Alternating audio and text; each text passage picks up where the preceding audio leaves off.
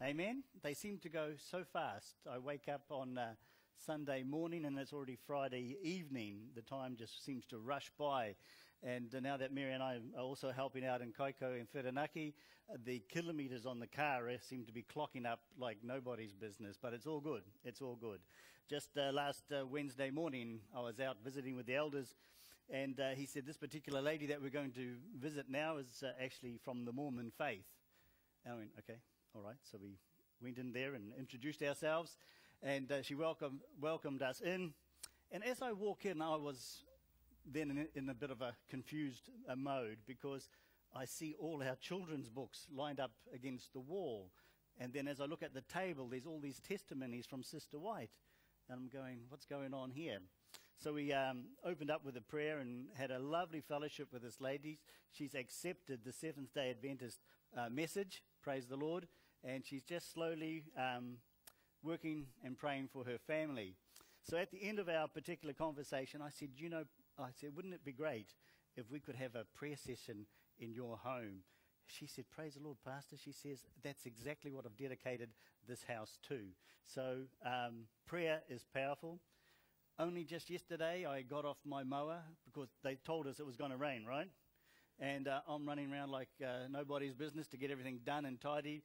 And uh, as I finish for the day, waiting for this big downpour of rain, my phone uh, beeps. And as I read it, there's a text from a person who I don't know. says, Pastor, could you come and have Bible studies with me? And I went, Praise the Lord. Um, did I say yes or no? I said definitely yes. So we arranged a time for next week, and he said, Praise the Lord, I'm looking forward to it. So God is good, and He is answering our prayers, and the Spirit of God is moving upon Whangarei and also Kaikohe and throughout our churches in the north. So keep praying, saints. Um, we want to see Jesus come soon, eh? And he is going to come soon. I'd like just to um, start my sermon off, just to give us a bit of background this morning. And um, before we do that, I'd just like you to uh, bow pre- uh, again in prayer. Dearest Heavenly Father, we're just so thankful that we can be in your house, in your sanctuary this morning, Lord, to um, to share your word, Lord, to study your word. And we thank you for the wonderful uh, study that we have in the Sabbath school talking about your sanctuary. So, Lord, just may your spirit anoint us as we come before you this morning in Jesus' name. Amen. Jesus has just been to, well, basically started his ministry. He's just been to the wedding in Canaan, and uh, the disciples and everyone gathered there saw him perform a wonderful miracle whereby he turned water into wine. And as I was thinking and just reading about that, did they become his followers because they now had uh, fresh supply for ample amounts of wine or grape juice as we understand it to be? No, I don't think so. They saw something about Jesus that was different and they wanted to, to follow him.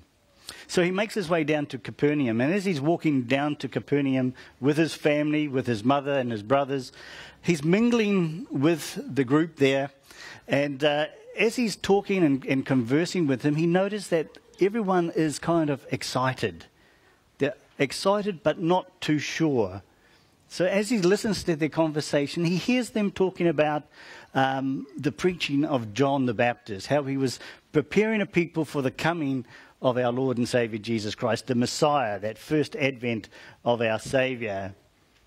And as he's listening to them, he kind of corrects them in some areas, but of course, they didn't think that that particular Messiah that they were awaiting was actually walking with them um, as they went from then Capernaum up to Jerusalem.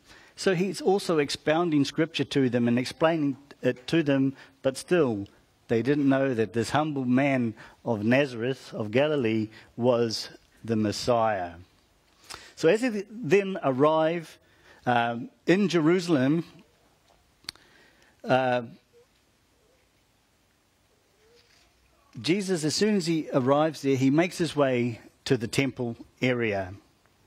And as we know, that that temple that was built was uh, the most beautiful architectural design in Jerusalem at, at, that particular time.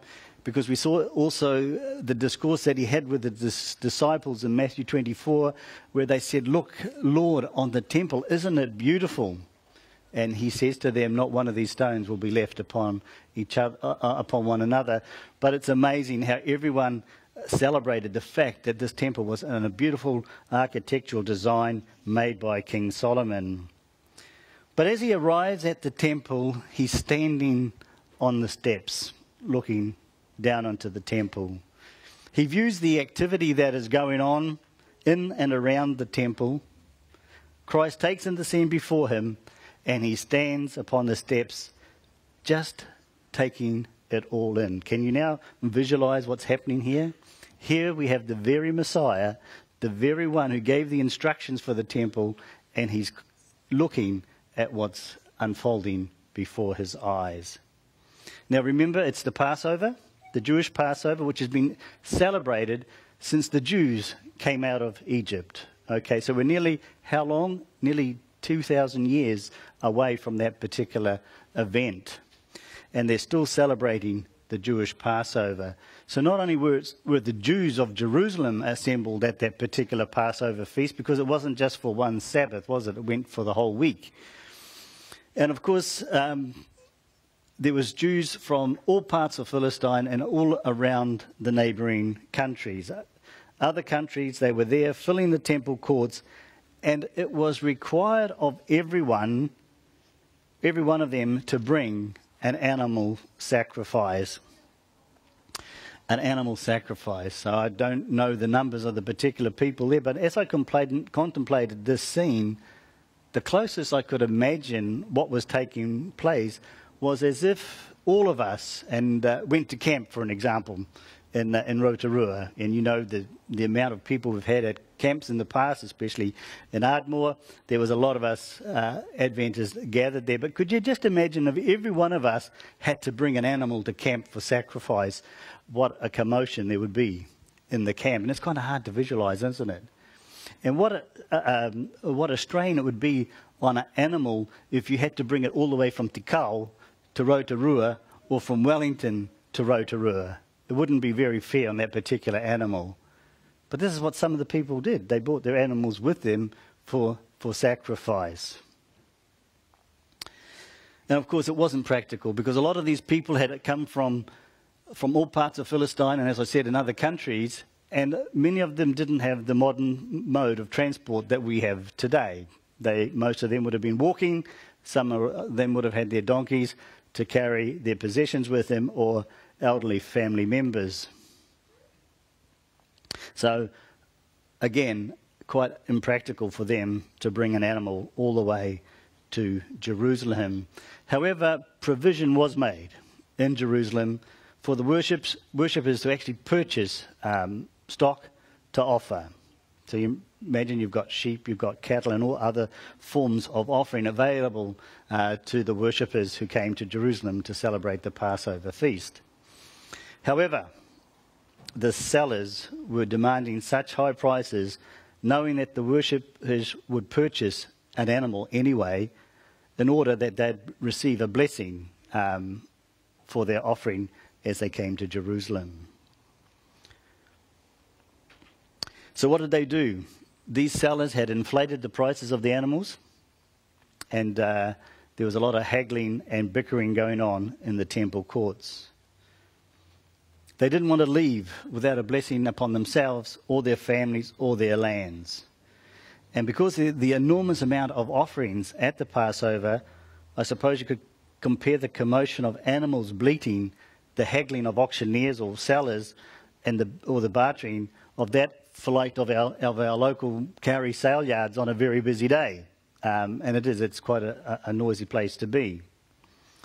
But not only was the the animals there to be offered in regards to the sacrifice, all pointing towards Jesus as the Lamb of God, but also they had uh, a, a, responsibility in that they had to give uh, a yearly half shekel of money that was required to support the temple, the temple work. But of course, this was also inflated. The money changes had increased the rate of exchange as no other country, uh, currency sorry, was valid in paying what we could call temple taxes. So, again, as we reflect on this particular uh, scene that is taking place before Jesus, the noise of animal bartering, the animals themselves, the money changes, the clinking of the money, detracted from the purpose of this beautiful sacred temple. Built to the glory of God, but reduced to a den of thieves. The temple and the sole purpose was for worship, but because of the commotion surrounding the worshippers, one couldn't even hear the prayers of the priest. Isn't that sad? This holy temple, dedicated to the glory of God, dedicated for the sole purpose of worship, had become like a marketplace, a den of thieves. And as Jesus stood silently on those steps, his thoughts were of the priest and the rulers who were called to be the representatives of God to the nation. They should have corrected the abuses of the temple court. But the priests themselves were involved in this abuse. The priests themselves were uh, involved in profiting the money that was made by the sellers and the, and the money exchanges. They should have given to the people an example of integrity and compassion. Instead of stealing or working for their own profit, they should have considered the situation and needs of the worshippers and should have been ready to assist those who were not able to buy the required sacrifices. But they weren't looking at the people, they were looking again at themselves. They had forgotten the call of God as Levites to minister on behalf of these people in God's holy temple. The nation, again, was so proud of the temple and so careful in performing their uh, required ceremonies that they forgot the, the weight of what they were doing. But this they did not do. Greed had hardened their hearts. Their hearts were not softened to the work of God. And of course, when you think of all those people who came to this feast of the Passover, they came to those who were suffering, those who were in want and distressed, the blind, the lame, the deaf were there. Some were bought on beds of sickness. Many came who were too poor to even purchase the humblest offering for the Lord, too poor even to buy food with which to satisfy their own hunger. These people, these worshippers, were greatly distressed by the statements of the priest. The priest boasted of their piety, they claimed to be the guardians of the people, but they were without sympathy or compassion. Wouldn't that be sad if people came to worship with us and we just left them and uh, couldn't care of what their situation was in life and they'd come to us for help to seek um, forgiveness of the Lord? The poor, the sick, the dying made their vain plea for favor. Their suffering caused no pity in the hearts of the priest. Priest who had been called by God, priest who had dedicated their lives in service of the temple. Sad situation, isn't it? And again, as Jesus looked upon the whole scene, he saw the unfair transactions. He saw the distress of the poor, who thought that without the shedding of blood, there would be no forgiveness for their sins. So, could you just imagine arriving there at the Passover in Jerusalem, not being able to afford an animal? You've traveled a long way and you're seeking forgiveness for the Lord because it's required of you to place your hand upon that particular animal, cut its throat, and offer it up for an offering for the sins that have taken place in your lives sometimes think we've been let off a bit lightly and that we can only come to Jesus without, um, without making this offer because he is the Passover lamb. Christ saw that something must be done. Numerous ceremonies were enjoyed upon the people without the proper instruction of the, their significance. So, as the people went through the motion, it just became tradition. They didn't understand the meaning of what they were doing. The worshippers offered their sacrifices without understanding, and they were typical of the only perfect sacrifice, whom unrecognized and unhonored, stood the one symbolized by all their service. The true Lamb of God stood upon those steps. He had given directions in regarding to the offerings. He understood their symbolic value, and he saw that they were now perverted and misunderstood. How Jesus' heart must have been torn as he viewed that scene. Spirit, spiritual worship was fast disappearing from the temple court. The priests and the rulers had destroyed the link to God. Christ's work was to establish an altogether different worship. The gospel must be preached to the poor, Jesus thought. The whole sanctuary temple service exemplified the love of God in that everything pointed to that very sacrifice of love, of God's love, his only begotten Son. But by the agreed, the priests and the rulers were not only robbing the worshippers of their money, but also robbing them spiritually from the love and mercy of God's grace and goodness by not upholding the true ministry of the temple of God. The temple of God exemplified the love of the Father. Again, Jesus standing there on the steps makes himself slowly a whip of rope.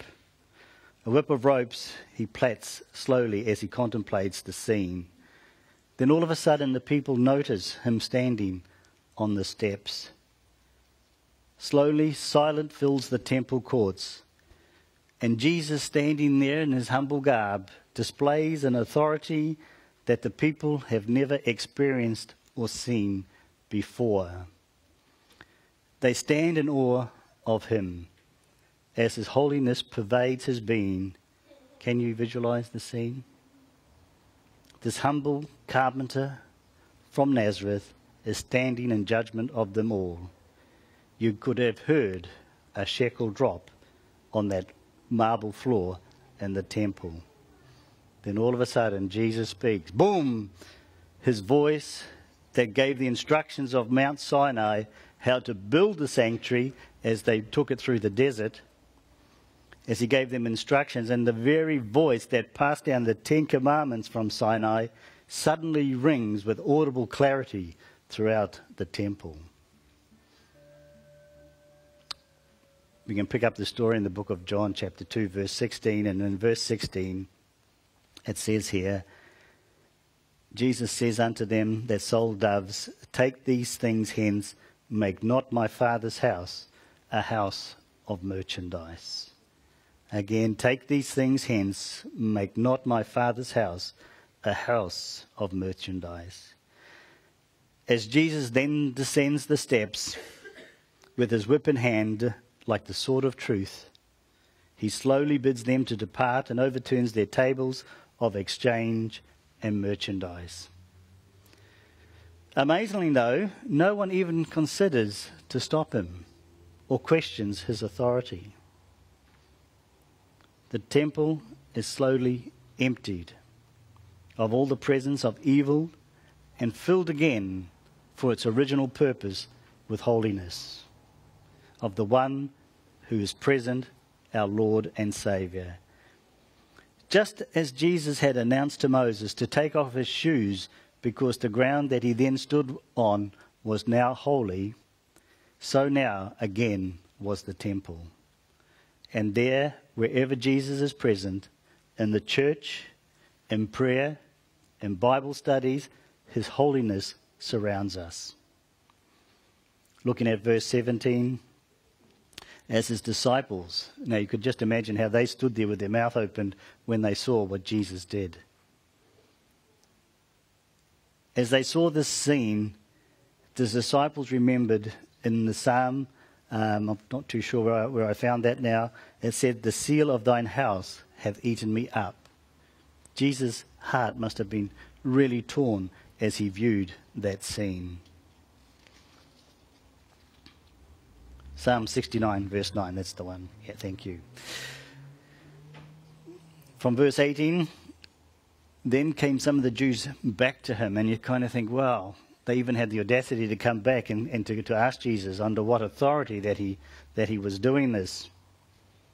Jesus, ana- Jesus answered and said unto them, Destroy this temple, and in three days I will raise it up. And you could just imagine what the thoughts were going through their minds as they heard this. In three days he'll rebuild the temple, because the old temple took how, many, how long? 46 years to build, and they think, How can he do this? Uh, verse 20 then said the Jews, Forty and six years was this temple in building, and wilt thou rear it up in three days? But he spoke of the temple of his body. When therefore he was risen from the dead, his disciples remembered that he had said this unto them, and they believed the scripture and the word which Jesus had said. In the cleansing of the temple, Jesus was announcing his mission as the Messiah.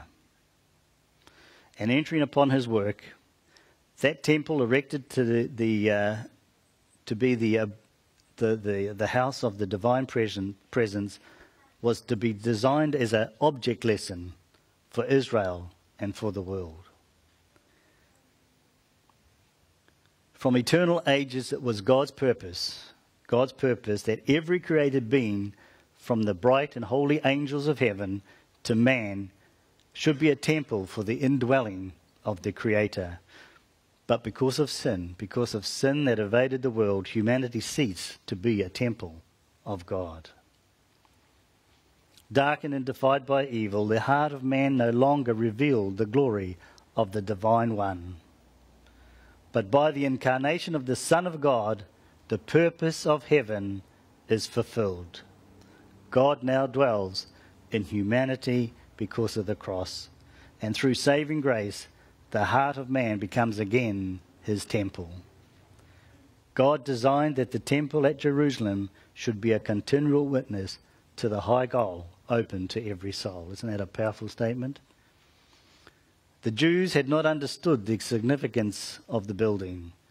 They regarded with so much pride that building, and yet they did, they did not yield themselves as holy temples by the divine Spirit. The courts of the temple at Jerusalem, filled with tumult and unholy turmoil, represented all too truly the temple of their hearts, defiled by the presence of sensual passion and unholy thoughts. Isn't that sometimes the way our hearts are? In cleansing the temple from the world's buyers and sellers, Jesus announced his mission to cleanse the heart from the defilement of sin, from the earthly desires, the selfish lust, and evil habits that corrupt the soul. Powerful, absolutely powerful. Jesus is there to cleanse our heart, to make our temple uh, a place where the Holy Spirit can live and work in us. Know ye not that you are the temple of God? How many times have we read that and yet not really uh, reacted to what it's saying here? Know you not that you are the temple of God, and that the Spirit of God dwelleth in you? If any man defile the temple of God, him shall God destroy, for the temple of God is holy, which temples you are. And I just want us to think on that for, for a little while. How are we able to defile the temple of God? Is it simply defiled by what we put into it? in, in the manner of uh, food and, and nourishing ourselves? Yes, it can be defiled that way too. But just think of the past week how we could have possibly defiled our own temple and simply by what we've looked at this week. If we've viewed something through our eyes, through the portholes of our temple, how have we defiled that particular temple? Something that we've listened to um, this week, has that also um, caused us to defile the temple that the Holy Spirit lives in. Our thoughts, have our thoughts been clean ones? Have our thoughts been thoughts to edify and glorify our God? Sometimes they aren't, are they? And this again is how we defile the temple of God. In what we wear, are we also giving glory to the temple of God? No man of himself can cast out the evil throng, throng that have taken possession of the heart. Alone we cannot do it. It is only by the saving grace of our Lord and Savior Jesus Christ. Only Christ can cleanse the soul. We might look all pretty clean and sparkly this morning, sparkling this morning, but Jesus is the one who, who we need to allow full access to clean the temple. But the thing is, Jesus himself will not force an entrance.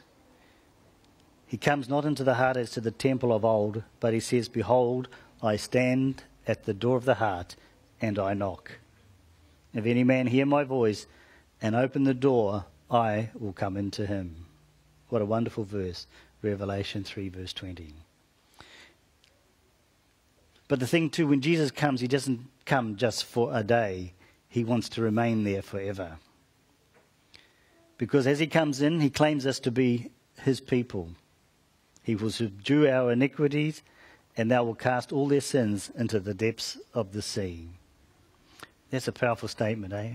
Cast the depths, the, the sins of ours into the depths of the sea. His presence will cleanse and sanctify the soul. Becoming holy is what he wants us to be. That process of sanctification, as we mentioned in the Sabbath school. The Lord is holy. He wants us to be holy because we are his children. Amen? So that it may be a holy temple unto the glory of God our Father and through his Son Jesus Christ, an habitation of God the Holy Spirit. And why did the priest flee from the temple?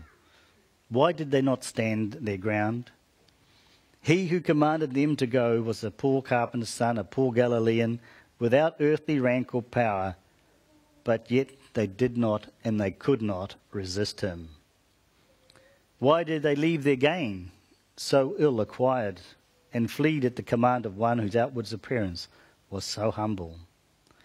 Christ spoke with the authority of a king, and in his appearance and the tones of his voice, there was that which they had no power to resist.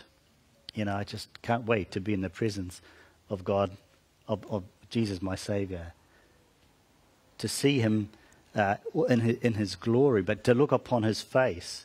And as He spoke those words to, to remove that merchandise out of the temple, even though He had authority, there was love and compassion in His voice for those sinners and for those who had caused the temple to become a place of thieves. At the word of command, they realized, as they had never realized before, their true position as hypocrites and robbers. When divinity surrounded the, that human form of Jesus, they just couldn't resist in uh, removing themselves from his presence. They felt as if before the throne of the eternal judge, with their sentence passed on them for time and for eternity. For a time, they were convinced that Christ was a prophet, and many believed him to be the Messiah. The Holy Spirit flashed into their minds the utterances of the prophets concerning Christ. Would they yield to his conviction or to this conviction? Repent they would not. As they left the temple, they even told others who were coming to the temple, who were also priests, don't bother going there, just, just stay away. And of course, you know, these could have been people who were wanting to come into true worship, but they were blocked because of the selfishness of the priest. They knew that Christ's sympathy for the poor had now been aroused. They knew that they had been guilty uh, of extortion in their dealings with the people. Because Christ discerned their thoughts, they hated him. They wanted to get rid of Christ, and they made plans straight away to remove him. This public rebuke was humiliating to their pride, and they were jealous of his growing influence with the people. Isn't it amazing how Jesus loved the poor? And, uh, you know, that's exactly who we are. We are the ones who are poor in spirit. They determined to challenge him as to the power by which he had driven them forth and who gave him his power. Slowly and thoughtfully, fully, but with hate in their hearts, they returned to the temple. But what a change had taken place in that short time of their absence. When they fled, the poor remained behind, and these were now looking to Jesus. The poor were looking to Jesus, whose countenance expressed his love and sympathy. With tears in his eyes, he said to the trembling ones around him, Fear not, Fear not, I will deliver thee, and thou shalt glorify me. For this cause I came into the world. Jesus, by cleansing that temple, had won a victory, and that the poor who stayed there saw, saw him for who he really uh, is. And when we think of just today, this morning, as we got up uh, out of bed and we think